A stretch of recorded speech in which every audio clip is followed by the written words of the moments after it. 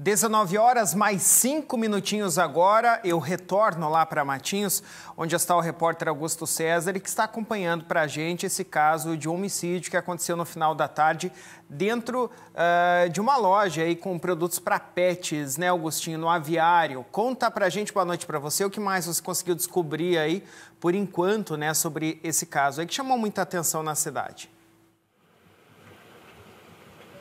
Exatamente, Rafa. Nós apuramos mais informações com respeito a este caso. Inclusive, neste momento, o corpo está sendo recolhido aqui pela equipe do Instituto Médico Legal. A perícia já foi feita aqui no local onde esta ocorrência aconteceu, né, no interior deste aviário. Vale ressaltar que o proprietário, né, o pessoal que trabalha por aqui não tem nada a ver com a situação. Este indivíduo, segundo informações que foram recolhidas aqui no local, foram colhidas aqui no local pelas equipes da PM, eram de que este indivíduo, que acabou sendo atingido por esses disparos, teria vindo até este estabelecimento comercial para oferecer aí uma bicicleta para o proprietário do estabelecimento.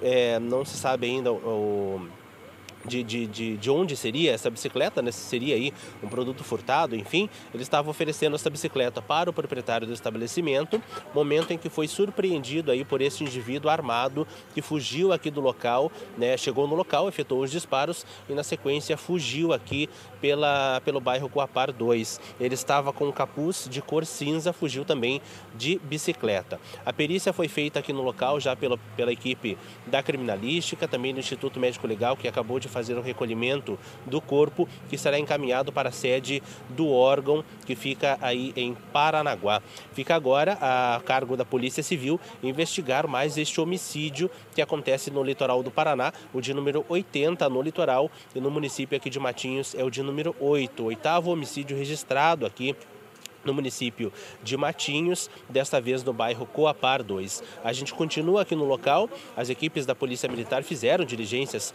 pela região, mas até o fechamento aqui da informação, nenhum suspeito foi localizado. A nossa equipe, Rafa, continua aqui no local, é, tentando apurar aí maiores detalhes, mais informações com respeito a mais este crime aqui no litoral do Paraná e, claro, cobertura completa você acompanha nos programas aqui da TVCI.